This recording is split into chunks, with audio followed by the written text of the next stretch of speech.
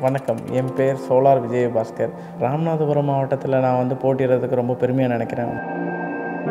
கமல்ஹாசன் அவர்கள் பிறந்த ஊர். ரெண்டாவது வந்து எங்கள் இளைஞர்களுக்கெல்லாம் ஒரு விடிவெளி பார்த்தீங்கன்னா நம்ம அப்துல் கலாம் ஐயோட பிறந்த மண். யாதும் ஊரே யாவரும் கேளீர். Which means I am a world citizen every citizen is my own kith and kin Ramanathapuram வந்து பின்தங்கிய மாவட்டம் பின்தங்கிய மாவட்டங்கள்னு சொல்கிறாங்க என்ன ரீசன் பார்த்தீங்கன்னா வேலை வாய்ப்புகள் ரொம்ப கம்மியான்னு சொல்கிறாங்க சீம கருவேலை மரம்.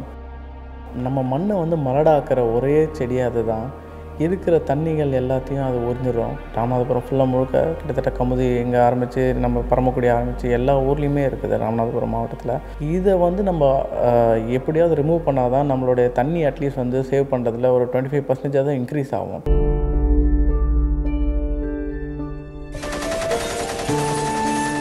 எங்களுக்கு கடல் குழம்பு தான். எங்கள் மக்கள் போயிட்டு வந்தால் தான் எங்களுக்கு சாப்பாடு. எங்கள் மக்கள் கரையை வரத்துட்டு நாங்கள் உயிரை இந்த கையில் பிடிச்சிக்கிட்டு தான் இருப்போம். ராணுவத்தில் கூட வந்து ஒரு நம்பிக்கை இருக்கும். அவங்க ராணுவத்துக்கு அமிச்சாங்கன்னா கண்டிப்பாக வந்து சேர்ந்துருவாங்க அப்படின்னுட்டு.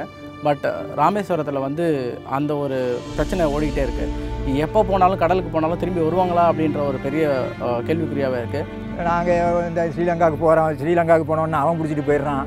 என்ன அவன் பிடிச்சி கொண்டு போய் வச்சு எங்களை செயலில் போட்டு எங்களை கொடுமைப்படுத்தி மறுபடியும் திருப்பி எங்கள் போட்டுகளையும் பதிம பதிமதி பண்ணிடுறாங்க டெக்னிக்கலாக பிளான் பண்ணாலே இதை வந்து ரொம்ப ஈஸியாக சால்வ் பண்ணிடலாம். ஜிபிஎஸ் டிவைஸ்னு வந்து ரொம்ப கம்மியான சிறிய விலையிலே கிடைக்குது. அதை பயன்படுத்தினாலே நம்ம வந்து அந்த கடல் எல்லையை தாண்டாமல் நம்ம பார்த்துக்கலாம்.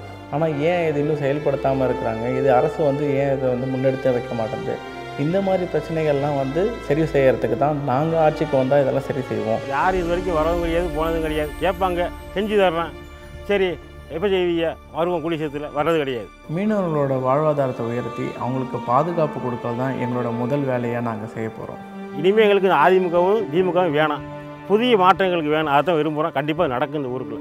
ஏப்ரல் ஒன்றாந்தேதி ஏமாந்தீங்கன்னா அன்னைக்கு தான் முட்டாள்னு சொல்லுவாங்க. ஆனால் இதுவே ஏப்ரல் பதினெட்டு ஏமாந்தீங்கன்னா அஞ்சு வருஷத்துக்கு முட்டாளாக்கப்படுவீர்கள் நீங்கள் மக்கள் வாழ்வை மாற்றும். மக்கள் நீதி மையம்.